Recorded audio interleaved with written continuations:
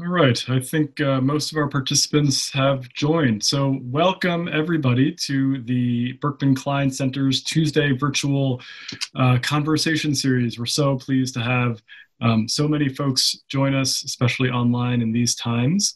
Um, and we're so pleased to welcome today Sandra Wachter, who I will introduce in a moment. Before that, however, um, let me just go through uh, the order of what, how we hope to do the call today and just some housekeeping items so that we can make this uh, really engaging, dynamic, active uh, conversation. Um, so uh, first we'll go through the housekeeping items and um, uh, on that piece, Ruben, do you want to pull up the slide that you have for the housekeeping? Nope, I think we may have lost Ruben. We'll do that without him for right now. Um, so on the housekeeping items, uh, please note that attendee audio and video have all been turned off for this conversation. Um, for question answers, we would like to invite you to use the Q&A function that's found either at the uh, bottom of your web application under Q&A, or if you're in the app, also on the bottom bar. Um, I will be monitoring that tool along with a number of our other team members. Um, and then during the Q&A, I will translate um, those to, to Sandra. Um, once Sandra is done with her main presentation, we're going to have uh, two folks from the Berkman Klein Center community offer brief responses. Um, that will include Berkman Fellow Baobao Zhang and Berkman Faculty Associate Jasmine McNealy. Um, and so once they've had the chance to respond and ask a question, we'll move to the, the broader Q&A. Um, we ask you to uh, absolutely submit and invite questions. Sandra will go through her presentation. So if there are any clarification questions, we won't be addressing them midstream, but we'll save them for the end of the, for the end of the talk. Um, if you uh, have any technical issues throughout, please be sure to message the hosts. So you can do that again through that bottom bar. Uh, we'll be monitoring that if you have any, again, technical issues or if there's a question that you'd like to submit that um, uh, is, is not in the Q&A forum. Um, the meeting will be recorded and posted to our website after a couple of days, so please note that we are recording. Um, and then finally on, on housekeeping, the webinar had about 700 people registered, so please forgive us in advance if we're unable to get to your question or if other hiccups arise. Um, we're so pleased that so many people have joined and clearly speaks to the, to the great work Sandra has been doing and to the topic at hand. Um, our team also has moderation functions. Uh, and if there's any sort of Zoom bombing or issues that come up, they will exercise those moderation functions. Um, and yes, to the person that just asked a question, please try to use the Q&A function um, for questions just because we can u- we can um, address what's been answered uh, and and filter those up. There's also a nice uh, thumbs up feature in there if if you have a question that's already been asked but you want to bump it to the top. Um, so why don't I move to introducing Sandra now? So uh, we are so pleased to have Sandra Wachter join us today. She is an associate professor and senior research fellow in law and the ethics of AI, big data, and robotics at the Oxford Internet Institute. She's also this semester, um, now virtually, a visiting faculty member at the Harvard Law School, teaching, I think, about three classes and doing a lot of work on AI and the right uh, to reasonable algorithmic inference. Her work spans so many different topic areas within the space of AI governance and AI policy, everything from the governance and ethical design of algorithms um, to open standards to opening up the uh, to opening up the AI black box, as well as enhancing algorithmic accountability, transparency, transparency, and explainability. She works on auditing methods for AI, and she's also working to combat bias and discrimination. And we'll talk more today uh, about fairness. Much of this work is also connected to uh, work that's been happening at the Berkman Klein Center on um, uh, AI governance issues and other issues of the ethics and governance of AI. We um, have recently started a project called the um, AI Policy Practice that relates very much to the work, the work that she'll be talking about today in translating many of the ethical principles and principle statements that we've heard about from multiple sectors into practice and what this means in practice. Um, and Sandra's work is really exemplary of that. So we're really pleased to have her. Um, and I'm going to turn it over to her now um, to take over. Thank you. Thank you so much um, for the introduction. Can you hear me? Oh, okay. That's fine? Yep, we can hear you okay. Fantastic. Um, yes, thank you so much for the introduction. Um, thank you so much for giving me the opportunity to um, talk to you about my, my latest work.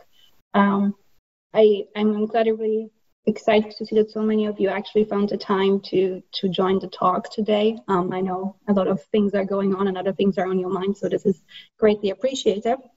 And it's actually the first time that I'm going to be talking about my latest work, so I, I hope it's going to be um, interesting to you. Um, so let's just start. Um, I am going to try to share my slides. Hopefully, um, everything will work out now. Um, let's see.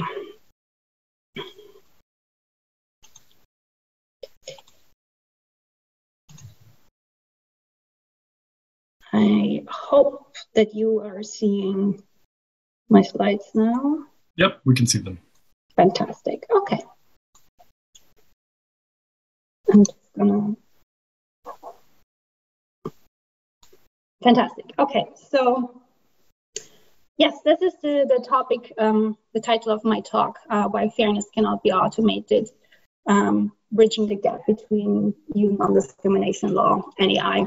And as I said, this is the, the latest work that I have co-written with two of my wonderful co-authors, Brent Mittelstadt, who is an ethicist at the University of Oxford, and Chris Russell is a computer scientist at the University of Surrey.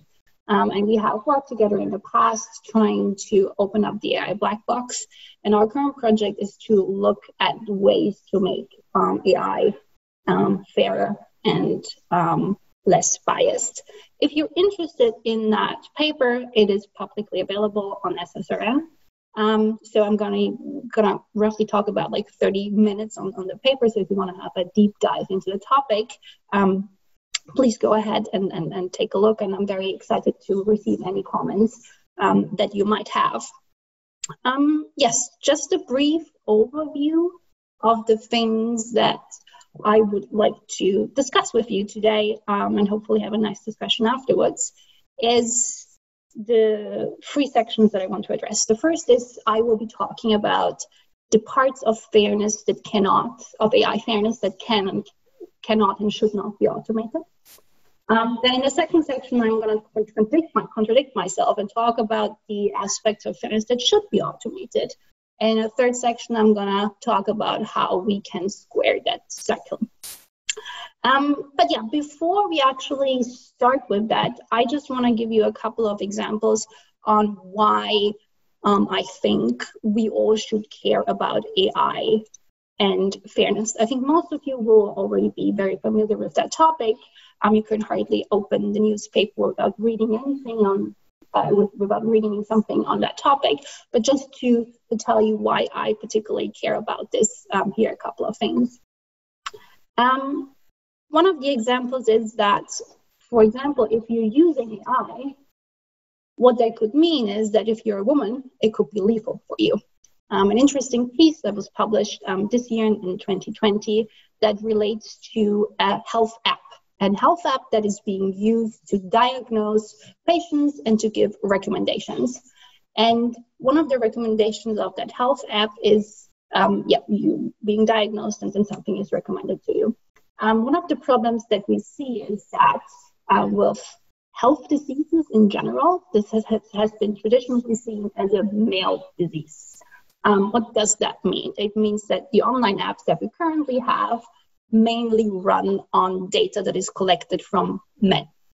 So they work very well for men, but they are not really good for female.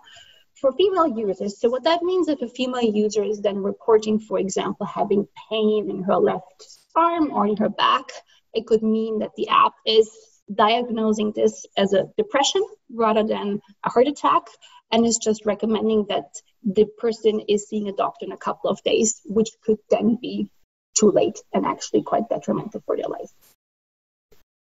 Another example is that um, if AI is being used, it could mean that people of color are assumed to be criminals. A very interesting study that was conducted by the Civil Liberties Group in 2018, where they used um, Amazon's facial recognition software to compare the pictures of federal lawmaker, lawmakers against the database of publicly available pictures of mugshots, basically. And they used the Amazon technology um, to match those pictures against each other. And what happened is that 28 lawmakers were um, labeled as um, criminals. the interesting part is that the software that's being used misidentified African American and Latino members of Congress at a much higher rate than white people. And keep in mind that software is actually being used by police departments and other organizations. The last example that I want to focus on is that if I is being used, what that could mean is that being gay is being equated with being a sex offender. Interesting um, article in The Atlantic in 2011 showed that if you downloaded Grindr, this could happen. So Grindr is a dating app like Tinder for um, gay people, and if you download that app, what could happen is that it also recommends you related or relevant applications. And one of those relevant and um, related applications is the sex offender search app. So that would help you to figure out if sex offenders are living near your neighborhood, which would help you to be uh, to protect you and your family. So those are just three. Um, examples that show why we actually need to care about AI and bias and fairness and why this is such an important field. So let's start with the first part that talks about uh, why AI fairness, unfortunately, cannot and actually should not be automated.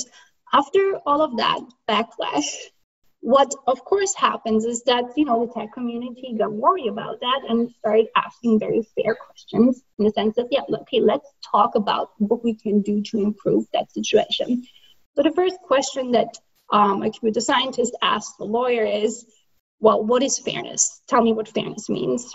And the lawyer would say well fairness we don't even have that concept. I, I can't tell you anything about that. We have something that is non-discrimination law, which is probably the closest thing that you're looking for. Then the computer scientist would ask, okay, well then tell me what discrimination means. And the lawyer would say, well, it depends. And the problem is it depends of a lot of things. And I want to walk you through all the things that it depends on and show you how contextual it is and how hard it is how hard it is to automate something like fairness or discrimin- or bias discrimination. Just a very quick overview of how non-discrimination works in the European Union. Uh, typically, we have two types of discrimination that we want to prevent. We have direct discrimination and indirect discrimination. Direct discrimination means that you are being treated less favorable based on a protected attribute. Um, for example, that could be I'm not giving you the job because you're a woman, direct discrimination, which will be illegal in most cases um, less likely to happen, obviously, um, because nobody will uh, admit to that fact. More interesting is the idea of indirect discrimination. So that means that the seemingly neutral provision criterion of practice that is applied to everybody um, poses a particular disadvantage for a protected group when compared with other people. That sounds very abstract. What that would mean, for example, is um, if I told you that I'm only hiring people that have short hair. You know that hair is not the same as gender.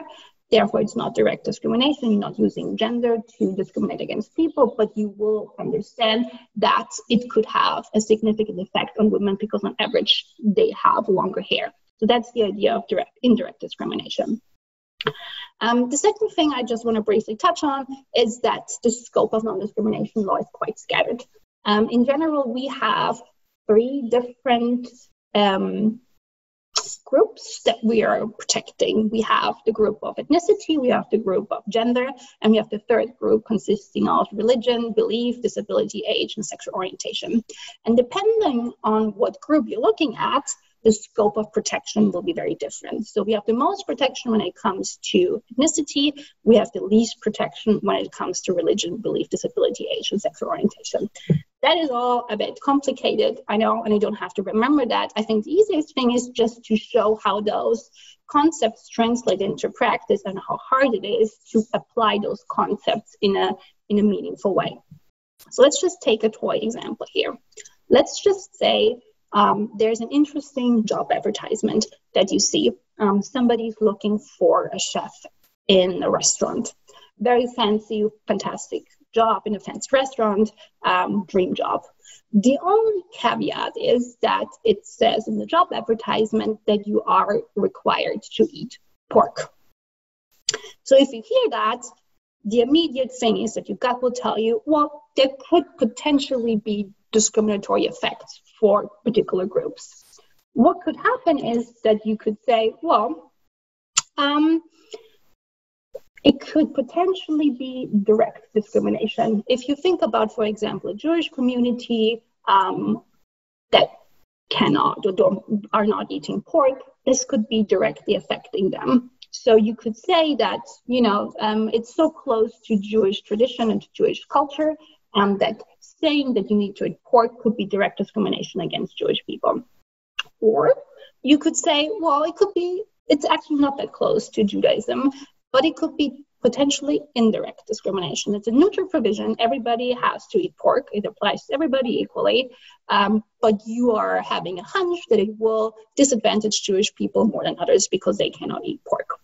So the question is is it direct or indirect discrimination? And the answer is it depends. It depends. Um, it depends on the context. It depends on the case. It depends on the member state. It depends on the courts. So there's no right or wrong answer just by using that toy example. However, let's just go with indirect discrimination because that is the type of discrimination that is more likely to happen when we talk about AI systems.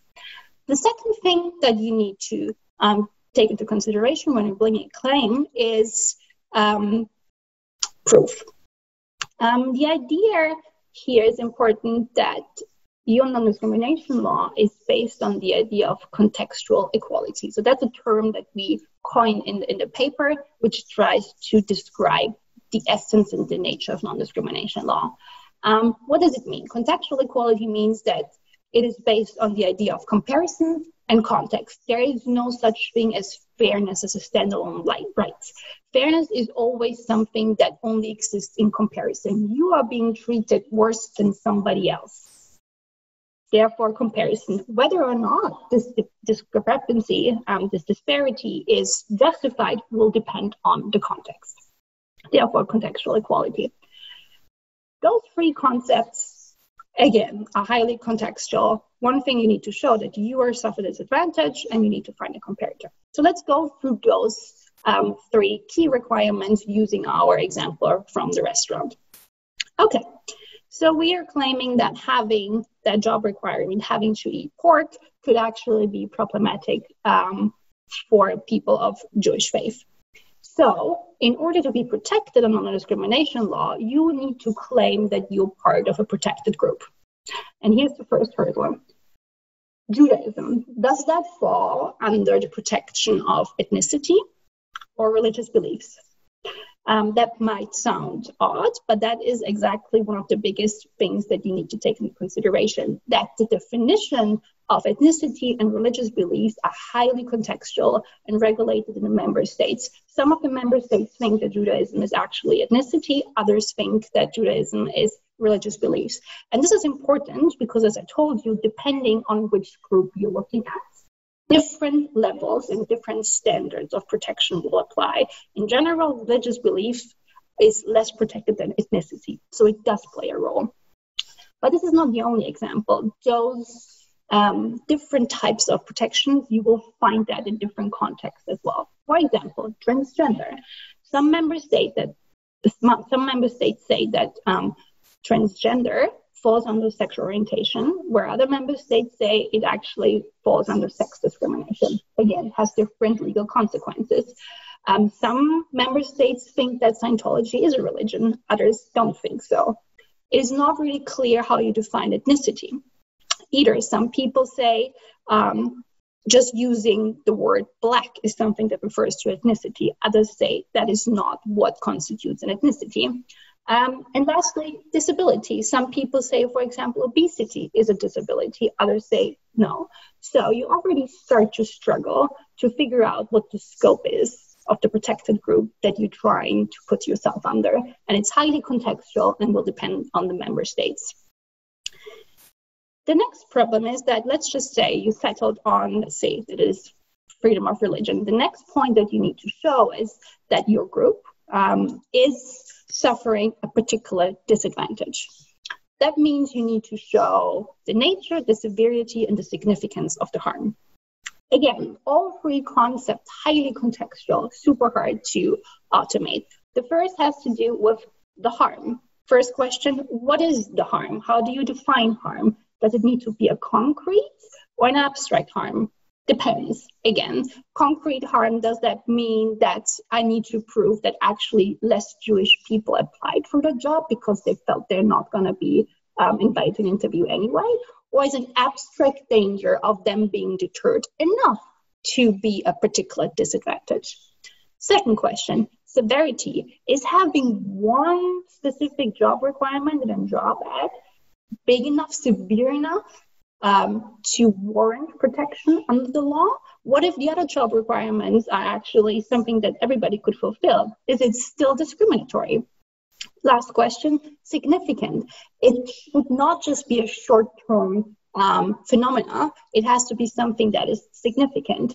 What does that mean? What if you only, you know, the ephemeral nature of online advertisement, is that enough of a significant impact on you if it's just short lived and maybe next week you see different jobs that you haven't seen before. And lastly, how many people do need to be affected for, e- for, for them to be significantly disadvantaged. As I said, having a pork eating requirement in a job advertisement, the assumption is that it will put Jewish community at much more disadvantage than others. But how much? How much more do they need to be disadvantaged than others? And again, it depends. The court came up with words like significant more, a far greater number than, more than, considerably larger percentage than. No clear cut um, requirements around that. Very flexible, very context depending, um, something that is very hard to automate. But what's interesting when you look at, at the comparison, it has to um, at the comparison side is that it has to affect a larger number than others. So that means it's interesting to look at the comparator, right? And that is the second part of, of, of the composition part. So the question is, who are you comparing yourself to? Because somebody else needs to get an advantage, whereas you are being disadvantaged to figure out who is actually having an advantage, you need to look at the reach of the contested rule and you need to find a comparator that is in a similar situation. So the first thing is what is the, the, the reach of the contested rule? Again, sounds very abstract, but makes a lot of sense. Um, the contested rule can be many things. You could uh, you can contest the rule as legislation. You could contest a contractual agreement. You could contest a regional law. You could collect, uh, contest a collective agreement. You could um, contest hiring practices. And depending on what the rule is that you are uh, contesting, that m- makes your population. So if you're fighting against legislation of member states, that means all, for example, um, Germans for example, would be affected. A German law will affect everybody in Germany. Whereas, for example, a German regional law would only, for example, will only affect people in Bavaria. If you have a contractual agreement, then it will only affect you and the people in your in your company. So again, it depends what is the rule that you're contesting and who is actually affected by it. Well, that makes a lot of sense in, in that context, but it gets very, very hard when you then apply it to online advertisement or for digital technologies in general. For example, what is the reach of online ads? What is the reach of Google? Who is affected by Google? You could make an argument and say, well, Google is global. Therefore, everybody on the world is affected. Therefore, you should use global statistics, no questions asked. You could also make the argument and say, well, actually, I'm not trying to target everybody on the planet. I'm only trying to target a specific region. So that's my actual reach. You could also make the argument and say, well, everybody who sees the job advertisement is affected by that rule. Or you could say everybody who applied for that job. Or you could say only people that were qualified for that job are affected by the rule. Or only people that were invited to an interview, or actually only the people that were offered the position. You could also say I don't think that Google is actually responsible for the rules. It's the employer who sets those rules, the rules of you have to eat pork at work. Again, there is no clear cut answer. It depends. Once you have figured out the global rule, the other thing that you need to find is somebody, as I said, that is treated better than you. And that can be a quite um, important task. What you need to prove is that other people are being treated better than you, and the only difference between you and them is your religion. So that means the pool of people who actually can live with the pork eating rule is much greater. So we identified the Jewish community as potentially um, disadvantaged. But if you think very closely, it could also affect the Muslim community. Well, the question now is if it's Muslim, the Muslim, the Jewish community, is either of those actually significantly affected? I don't know. And what about vegans, for example, right? Vegans or vegetarians?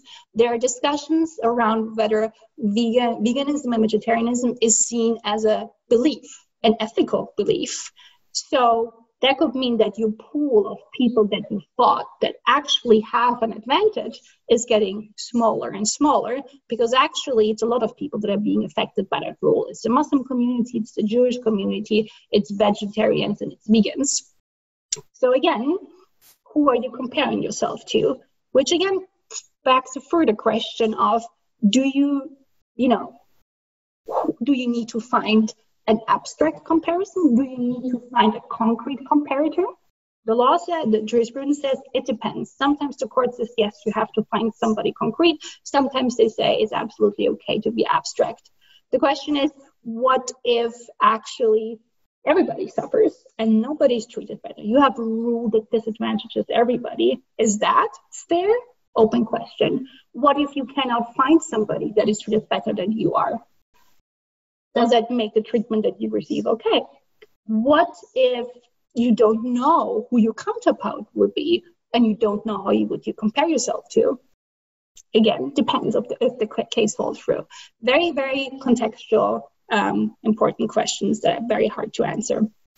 So, just to sum up this little chapter, um, yes, as I said, uh, non discrimination law is about contextual equality. There are no consistent standards of fairness um, in the European Union. The courts and the national member states define this on a case to case basis, very often with intuitive measures um, and intuitive tests. All the key concepts who is affected, how much do you need to be affected, who else is treated better than you are highly contextual and depend on the on the facts of the case and very often on member state law.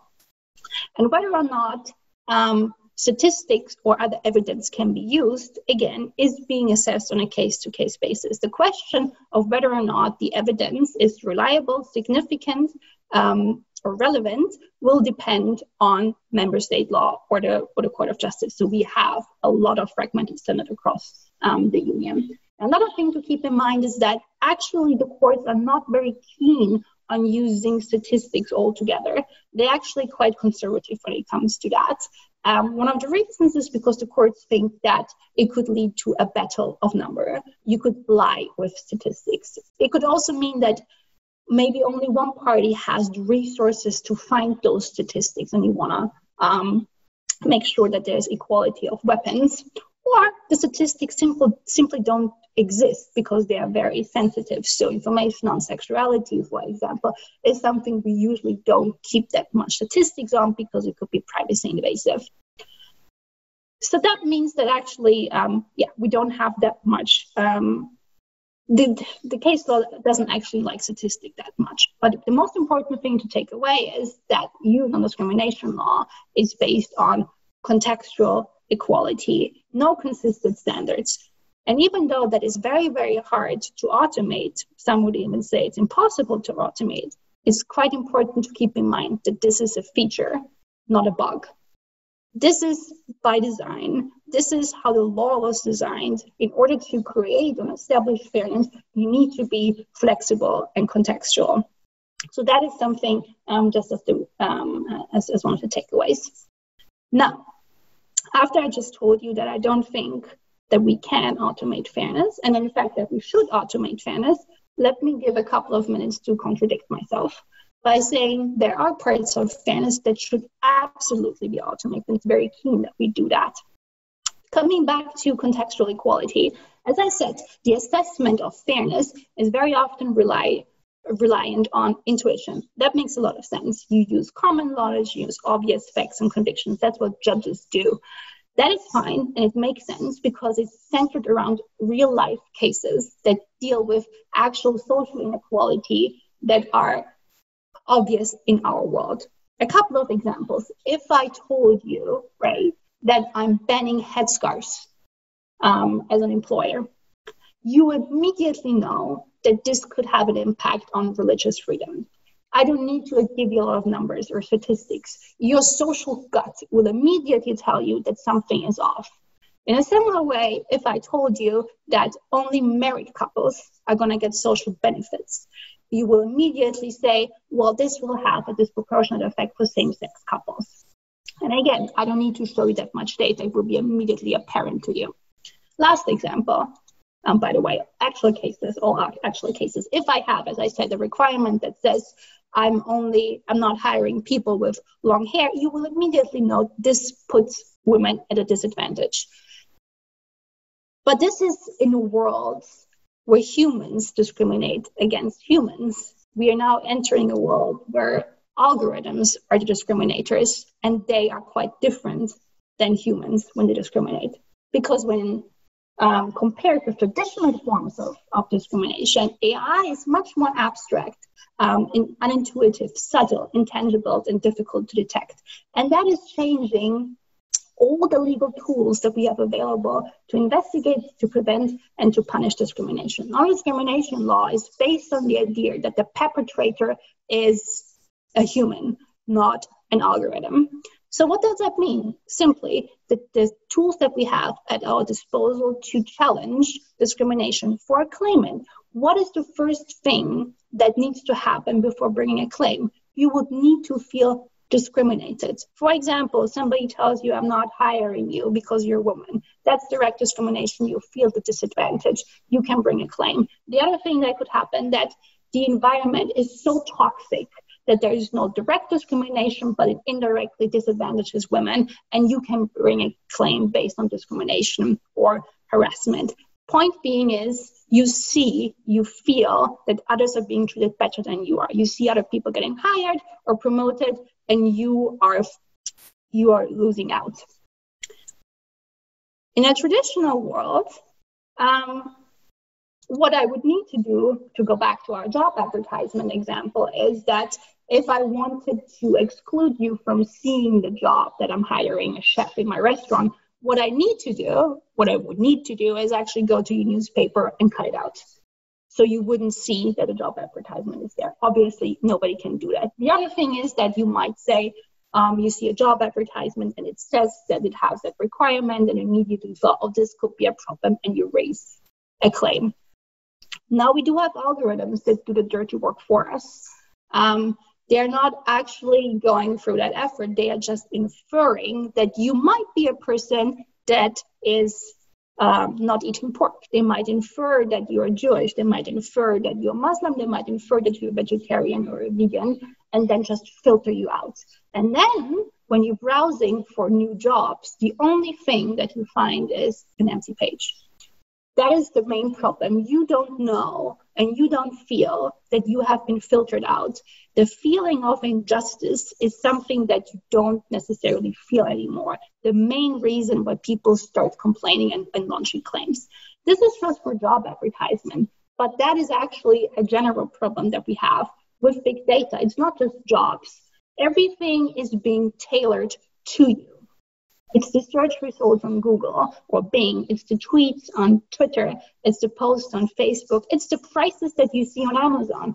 Everything is tailored and curated, and you don't know what you don't see. So in reality, what happens is that you look like something like that. You have blinders, and you are not aware that you might be disadvantaged, and that's quite important. That's a big, big disadvantage to traditional discrimination.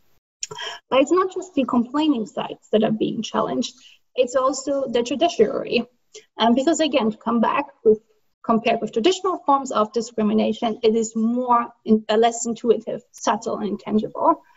And that means that judges cannot necessarily rely on their intuition anymore.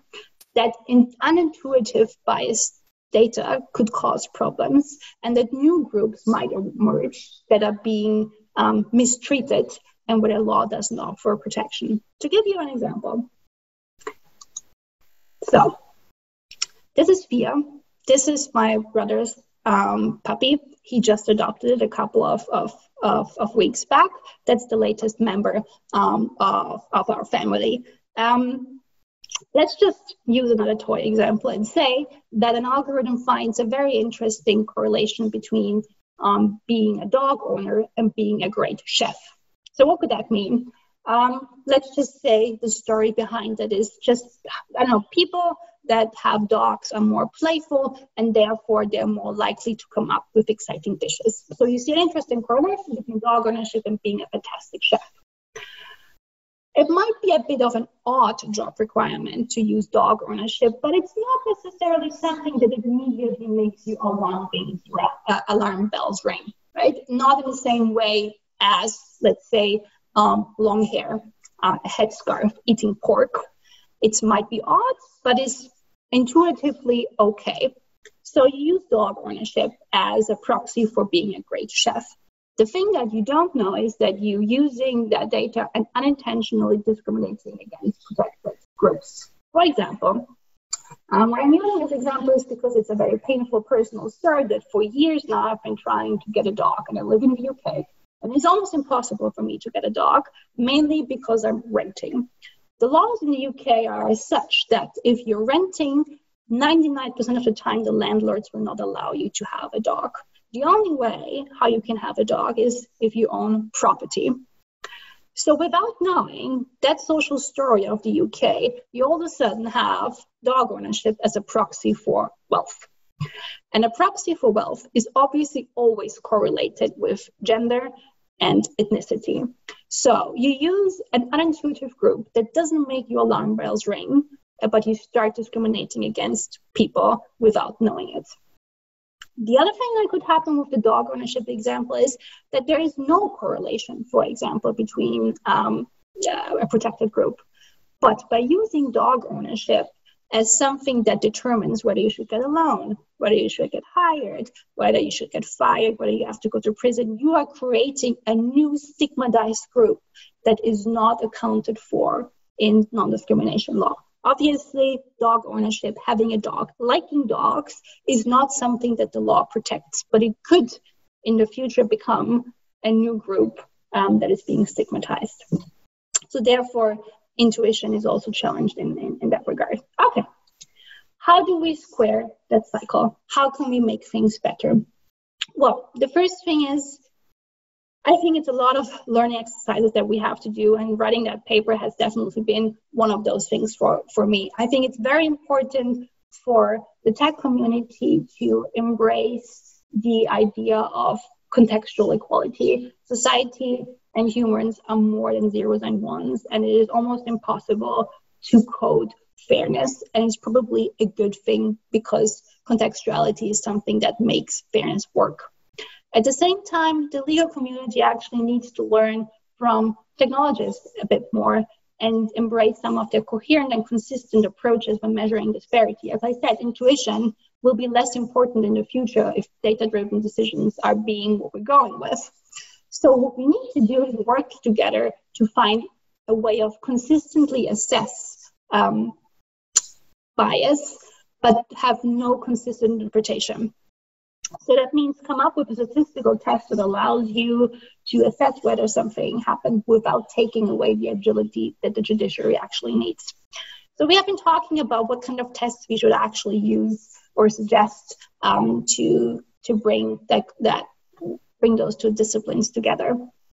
And we looked at uh, the statistical tests that the fairness community is is developing. It's very hard to map it to what the case law wants because as i said the case law is very incoherent and inconsistent um, so it's not quite easy to find something there two types of tests that are somehow semi related to what the court has been doing in the past are negative dominance and demographic disparity However, both of those tests are actually quite problematic when it comes to um, data driven decision. So, as I said, um, the idea of indirect discrimination is that one particular group has to be more significantly affected um, than others. So, example, you know, the Jewish community being affected by a pork eating requirement in, in a job advertisement. Negative dominance is kind of looking at that. It is looking at the disadvantaged group and is figuring out if one protected group, let's say Jewish community, makes up the majority of that group. And if that's the case, um, then it would be flagged as potentially discriminatory. So the problem here is, though, that even though that test makes a lot of sense in the world without algorithms, because you have that social narrative that immediately tells you that something iffy is going on, it might actually be very problematic if you scale that up for the protection of minority and intersectional um, discrimination. Because if you look at, for example, uh, minorities, it would be very hard for them to actually um, jump over the 50% mark and it wouldn't be flagged up as discriminatory. And the same way for intersectional discrimination. Or you could also do something what we coined as divide and conquer. You just come up with a reason to create groups and subgroups, for example, black women, white women, Asian women, and neither of those groups actually jump over the 50% um, mark. But in total together, they would be um, over the 50% mark. So strategic grouping could make it look like that not that non-discriminatory things are going on when it's actually quite biased. So that is not a good test to use um, uh, for a judiciary. The other thing that is close to what the judiciary is doing is um, demographic disparity. That's a bit that's that's smarter in the sense that it looks at specific groups that you're interested in. For example, it looks at ethnicity, looks at African American, Asian, white people, and compares how many of those are being rejected and accepted, and they try to figure out if they are rejected and accepted equal rates. Why is that the most um, closest, one of the closer things that the Court of Justice wants? Because in an interesting case from the 70s, um, which is called Seymour Smith, the Court of Justice actually um, advocated for that type of comparison. Interesting case, sex discrimination case from the 70s, where there was a requirement um, that said only people that have been working at a company for longer than two years get protection for unfair dismissal. This rule, this law, was being contested with the assumption that on average it will affect women more than men because they often take career breaks to take care of their children. Therefore, meeting the requirements of those two years um, could be problematic for them. And they brought statistics from the general workforce, and the court said the best way to read statistics is to look at the men and the women and look how many of the men and the women can satisfy this requirement and how many can't and compare those. This is the gold standard that was first established in the 70s and in uh, other cases in, in, in, in the previous in the following years as well. But the problem again is that the court does not follow its own advice quite ironically, in that very Seymour Smith case where the court came up with that gold standard, in the end, it didn't follow through with that and used a different measure. So again, there is a lot of um, discoherence in, in the case law. The only problem with um, conditional um, disparity is that it could be um, a little bit noisy um, in the sense that it could flag up too many uh, false positives in a very um, uh, well-known statistics examples again from the 70s that shows that something that looks biased can at certain look at second look actually not be biased. So um, the example was from Berkeley admissions, uh, where more men applied than women, and 44% of the men were admitted to Berkeley, whereas only 45% of the women were admitted to the university to the whole university, and that gave the immediate rise that there is some um, gender disparity going on. Um, it could be potentially discriminatory.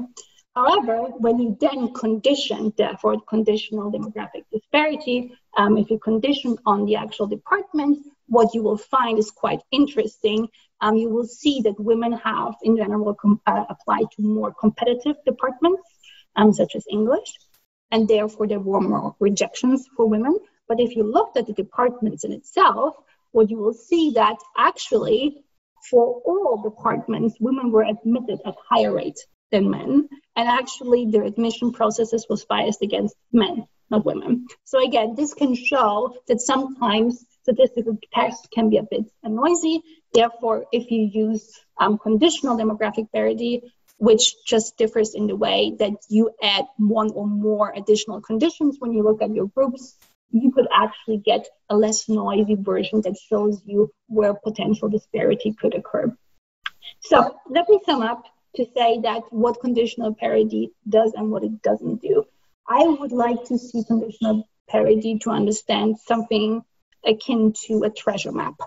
Um, it's a treasure map that shows you where to look, but not what to think. Um, the treasure map does not answer the very important contextual questions, such as did illegal disparity occur? Was it justified? What's the scope of a protected group? Um, what's my comparator? Was the damage severe enough to warrant a claim? All those things are contextual. All those things are reserved for the judiciary and is not something that can be automated. The thing that conditional um, demographic parity does is it's removing the blinders of intuition. With all the examples that I showed you, intuition will be less important in the future, and it's just removing them and showing you where you can look. It warns you of the dangers, it shows you where to look, but it doesn't tell you uh, where to think. And this is important because humans discriminate differently than algorithms. So let me conclude just with um, three things. Um, yes, the free free lessons that um, I, I, I have here is that we have to keep in mind that uh, AI fairness, part of it cannot and should not be automated. And this is something that computer science really needs to learn from law. Um, we are more than zeros and ones, and contextuality is a feature, not a bug. At the same time, the legal community needs to understand that if we use data driven decision, more coherent ways to assess bias are needed because the traditional intuition might just fail you in the future. And our idea of conditional demographic parity would allow us to bring some agility to computer science and a bit more cohesion to the law. Thank you. Great. Thank you so much, Sandra. This is usually the part where we clap, so I'll give you a little clap from home and hope that other folks are doing that as well. Um, so I want to go ahead and invite our two respondents to um, be unmuted, Baobao Zhang and Jasmine McNealy. And while they're going ahead and doing that, thank you all for all the questions you're submitting through the Q&A. I would certainly encourage you to keep um, to keep submitting uh, through that. I know that our time extends until 1:15 if we want to go that far. And so once Baobao and Jasmine offer some brief brief responses, we'll start going through the the questions, and they've been all, all really terrific so far. So I know Sandra can maybe take a skim as well at some point, but uh, but I will um, translate those after uh, Baobao and Jasmine give their responses. So Baobao, now that you're on, why don't we have you go first and offer a first response? Thank you so much, Sandra, for your great presentation. I also really enjoyed reading the paper, which I recommend that uh, if you're uh, if you enjoyed this presentation, I highly recommend you also read the paper that's available on SSRN.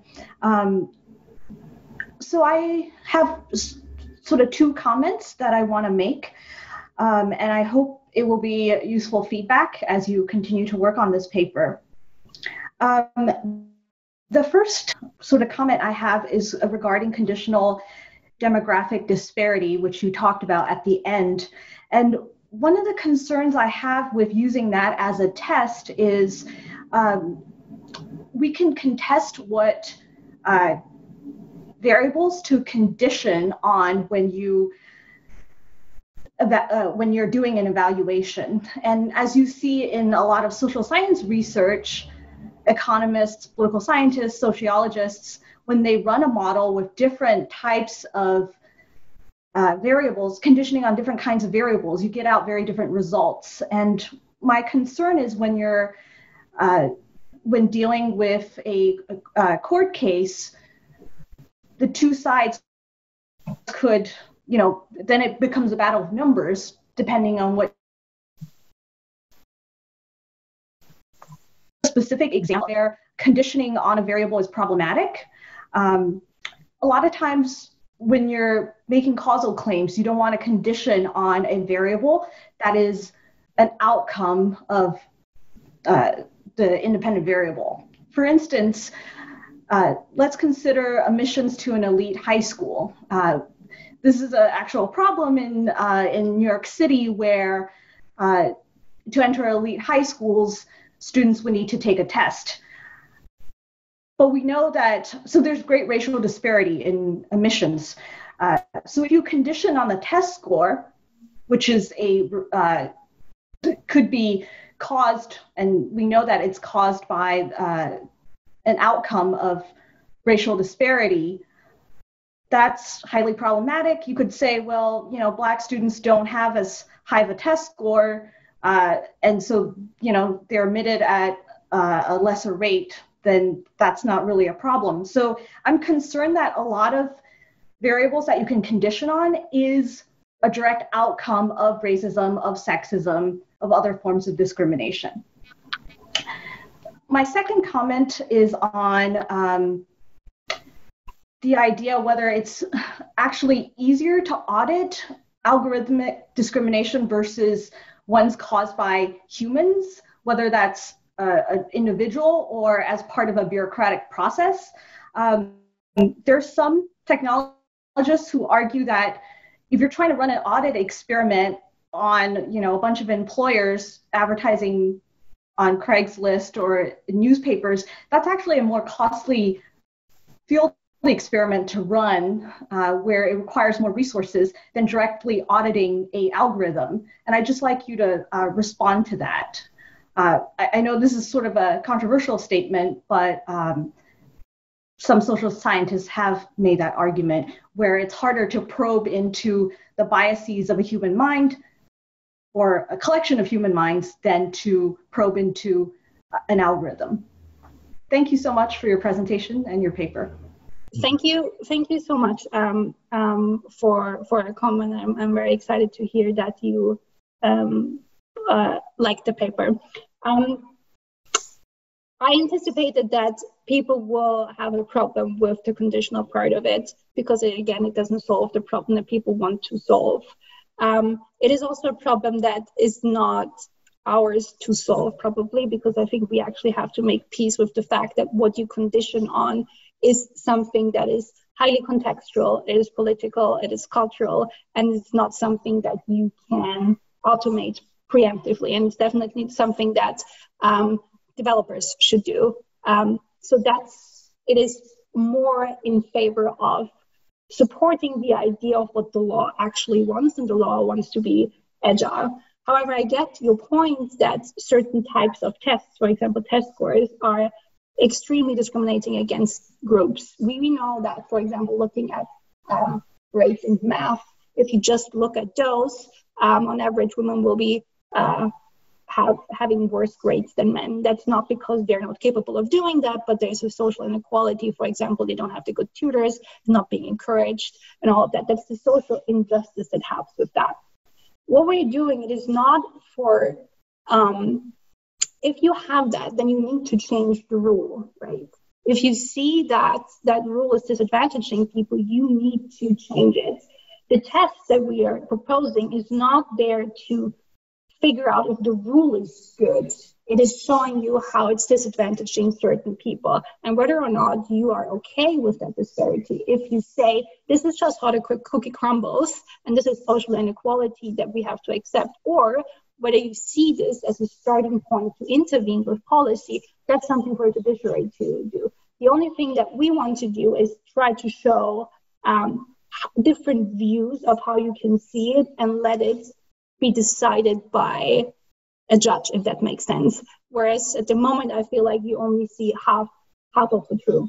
Um, that's for the one point. The other point, sorry, could you remind me? It was about humans being more or less biased in algorithms. Sorry. Oh, um, it's about uh, so um, econ- some economists have done audit studies where they try to see if there's racism in uh, hiring, and they basically send out a bunch of resumes yeah. to a bunch of employers, and that's somewhat costly to do uh, yeah. as an audit study. And they argue that if if there's a central algorithm that you can audit, that it would it would take less resources to audit the algorithm than to audit a number of employers. Uh, in some ways, it might be easier to detect bias, to detect the mechanism of the bias in the algorithm than to have to study, you know, a thousand employers and we don't really understand how the human mind works. Well, I mean, both are not independent from each other, right? The algorithm, where the algorithm finds its bias from is because people are biased. It's not creating its own biases. So I think you can see them distinct um, from each other. Um, they are connected. Like um, an algorithm doesn't de- like exist independent from um, for, from society. Um, whether or not it's easier to audit algorithms, I mean, it's two questions. Is it technically easier? I don't know. Maybe. Is it less costlier? I don't know. Maybe. Um, the, the main problem is that it's, I think that algorithms can be used to be, um, if you don't do anything, it's going to make things worse. If you intervene, it's going to make things better. But the problem is that in order to do so, you would need to actually put resources into doing that. Algorithms are not necessarily optimizing towards fair outcomes and fairness and equality and justice. They're often optimizing towards profit. So um, you would need to put in resources to scale that back and nudge it in a in a way. Um, so I think it will be costly, probably on both sides. And um, I don't think you can think one independent from each other because one informs the other anyway. So thank you so much for that. And um, to the you. to the first point that you were responding to as well, I'm seeing a lot of questions in the Q and A that relate to that. So we, we might circle back to that um, in, in, more depth during the Q and A. Jasmine, may I invite you to unmute yourself and to just offer a brief brief response or question? Sure. Um, thank you, Sandra, for uh, your presentation. I really appreciated uh, your going through um, the principles of EU non-discrimination uh, law, and I think that's that was really important to understand, like contextually, your work and your project. I guess my my question um, deals with uh, the use of equality um, and comparison of different groups. Um, and so we say like uh, we need to find a comparator or a comparative group um, to, to think about group discrimination or possible group discrimination. I wanted to know like if, if we want to know about equality or if we want to know about equity, because it seems like the Seymour Smith uh, case kind of goes to equity, kind of looks at history of certain groups, but also I want to know like how does equity um, as a contextual thing, which places groups within like context context historically, like uh, historically women in uh, admissions in certain fields perhaps have faced discrimination, or historically um, certain uh, ethnic groups were discriminated against in, in particular contexts. Where does equity um, come into the picture? Thinking about not just having algorithms or, or algorithmic decision making make equal or possibly equal uh, uh, decisions, but also for those same algorithms to take into account that certain groups historically or within certain contexts are you know more impacted or have been more impacted or whatever the case may be. So that's part of the question. But then also where does um, so we're talking about like possible statistical tests for courts to use um, to think about evidence. Where does um, the qualitative come into play when thinking about these statistics that we get back. And people want to use statistics because you know numbers right? Um, yeah. where does the qualitative come into play and help us interpret or help us um, refine uh, reimagine do something about algorithms that may be making these discriminatory uh, decisions Thank you. I think they're both very fantastic questions, and both of those questions have um, accompanied me for, for the last year or so. So I'm very grateful that I get to talk about this um, now. I think the question of equity versus equality is very, very important and very hard to answer. I think probably the the biggest discrepancy would be between how Europeans see it and, and how um, the US sees it that I, I again, I'm not an expert in, in US non discrimination law, but the idea is more about um, rectifying historical um, injustices. And that's definitely something that European non discrimination law does as well. We have those protected groups because we have seen that um, they have been disadvantaged in the past, and now we want to tilt um, the scales back to actual equality. So a lot of the cases that you have obviously will have um, claimants that are from traditional stigmatized groups. But the way that um, non-discrimination law, at least in Europe, is imagined that this is more or less a halfway stop to perfect equality, if that makes sense. A lot of the cases that we have right now are trying to rectify the, the, the problems that we had, but what we're trying to do is actually establish equality for all.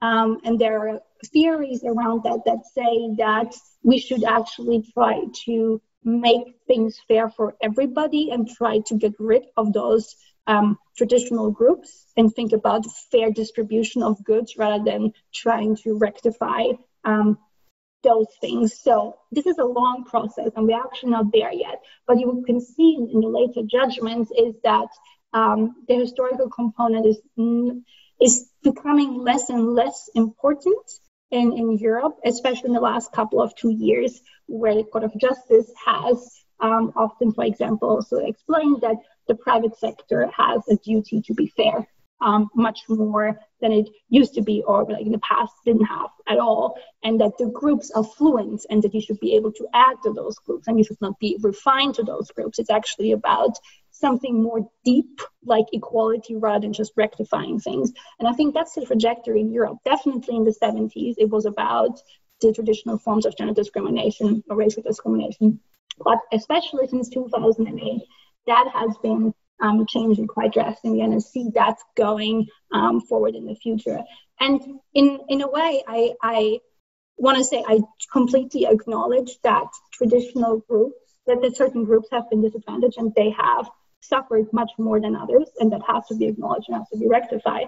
But in my dream scenario, it would also be that we end up in a, in a society where we all are equal, regardless of everything, if that makes sense. Um, and yeah, that's that's a, a longer way to um, to go. The second point, yes, the quality versus quantity. Very important. I don't want to say. I think I hope that doesn't come across in the paper. Or didn't come across in the point that is that I'm advocating for only using um, statistics or that statistics should be favored. Not at all.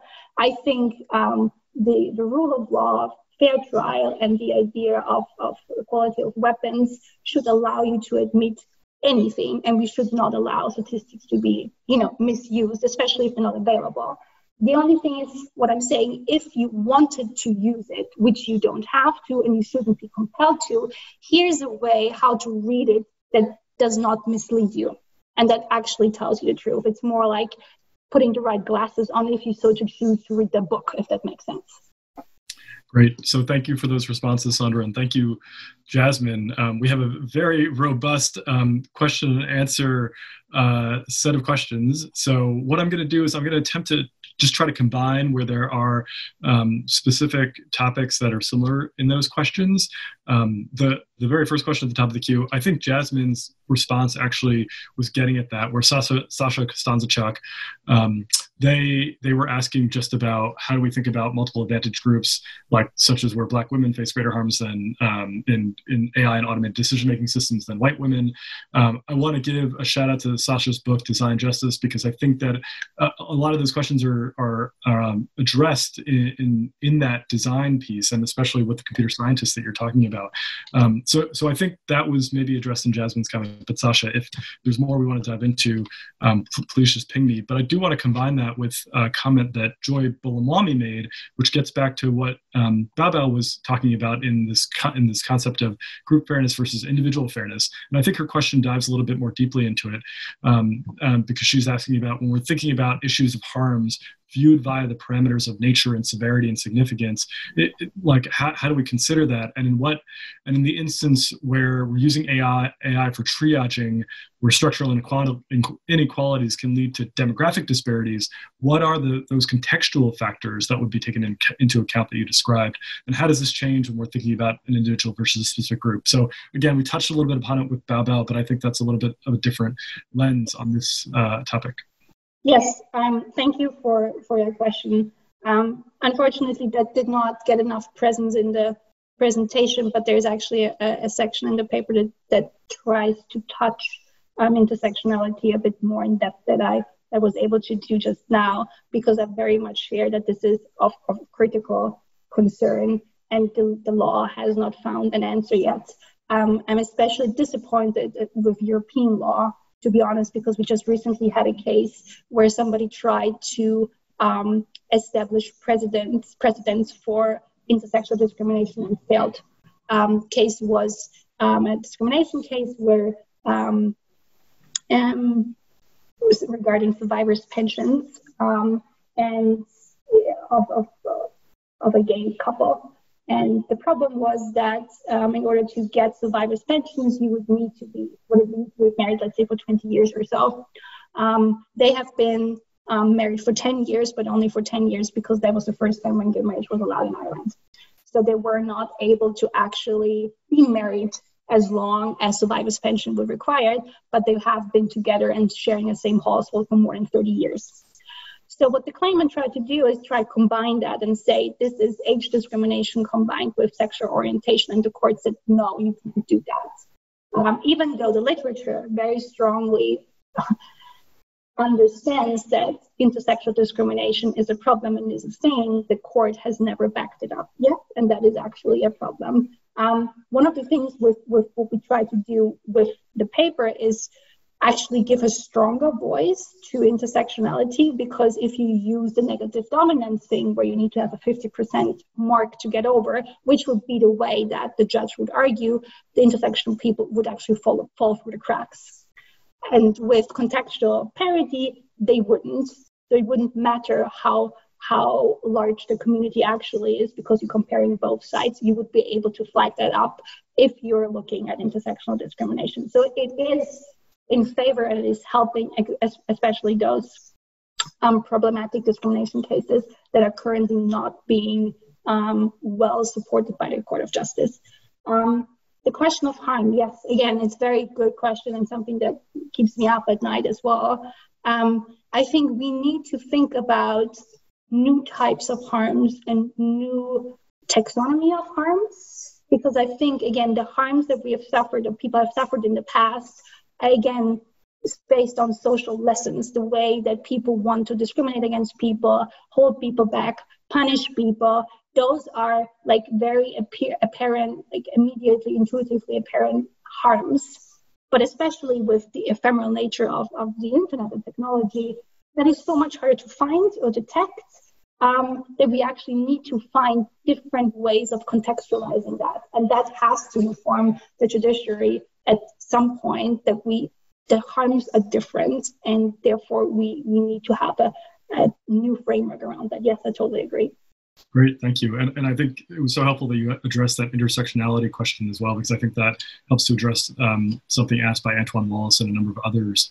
Um, so uh, just building off of that harms piece, there was a question actually diving more deeply into how EU discrimination law applies to the algorithmic supply chain more generally. So, for instance, in the example where you're talking about the restaurant listing the, uh, the job um, or a restaurant listing uh, job contracts with an, with an advertiser, and the advertiser buys off an off the shelf algorithm that turns out to be biased, who then bears the responsibility of the burden in ensuring that system is fair? And more broadly, do the challenges of algorithmic transparency necessitate that we rethink who bears that burden, which is, I think, what you were trying to say with your response on harms? Yeah, um, that is a very important question that I wrote an actual paper on. Um, which I, I'm, I'm, I'm happy to share afterwards. That it's called um, uh, discrimination by um, online behavioral advertisement and discrimination by association. Um, and it's looking exactly at that question how are online harms such as bias advertisement, job advertisement, price discrimination covered by current non-discrimination law? And the question, uh, the answer, very short, is hardly um, and very problematic. And I fully agree. One of the um, um, results of the paper was to say without proper transparency, the law will completely fail. Um, and the question of distribution of liability is completely um, is not has not been quite decided yet. Um, but yeah, that's that's a whole 17 pages that I I I wrote on that that I'm very would love to share and get get notes on that as well because it's such an important question. Great, great. Um, so I know we're coming up on time, so I'm going to ask one last uh, set of questions just that were posed in the Q&A. Um, but I also want to reiterate the apology that I made at the very beginning that there were 400 people who joined this webcast and the questions have been wonderful and amazing. And I'm sorry that we could not get to all of them, but I really hope that folks on this call can and will engage with. Yeah, and if anybody wants to reach out or drop an email or have further conversations with me, I would be delighted to do that. So the final question I was just going to ask is related to um, how do we codify and what do we what do we do next? So um, how do you think about attempts like, say, the Bertelsmann AI ethics label, VCIO, to certify or label AI systems? Are they feasible? Will there be state certifications for AI systems? And I guess a parallel related question to that is, what are the feasibility of, of some of these principles and ethics and standards uh, processes that have been going on in relation to this this um, proposal that you make about conditionality. So, for instance, a question was asked about what the feasibility of the IEEE standard of ethics are in consideration of AI. So, it's more about how, where do we go next with this? How do we think about this? I think it's a great, very different way of thinking about how many others in the field have been addressing this. Yes. Um, so, first, I think it's for me extremely exciting to see that so many um, different diverse brains are thinking about this problem at the moment. I think the last couple of years have been very, very fruitful in trying to figure out what to do next, and there are interesting uh, strategies out there. Um, I think we're not quite um, there yet. There is um, still room to debate. Um, uh, because I think we we jump into the solution question too early before we actually, you know, talked about the very important actual question is, you know, what what is the what's the what's the end result? What is the thing that we actually what we what are we marching for? Um, that is the, the, fundamental question that we need to answer first. Do I see technology as something that is making things faster and quicker and more efficient and cheaper? Or do I see this as an opportunity to actually empower disempowered communities and make sure that the, um, the, the wealth divide gets narrowed? That's the fundamental question. And that's, you have to decide whether, what's the role of tech in that? And once you have to decide that, then you can think about frameworks and guidelines and laws and all of that that are in service of that compass that leads you. And I think at the moment we don't even have clarity what our compass yet is.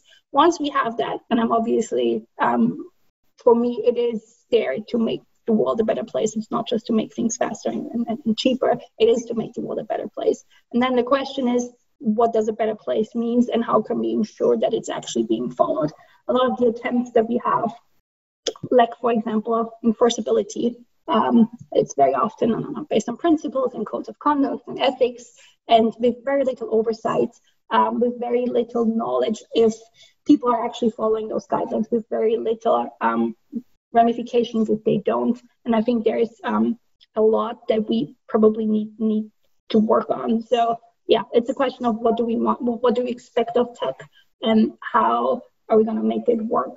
Um, and I think to answer that question, you really need a very wide and broad set of different people to think about that very hard together.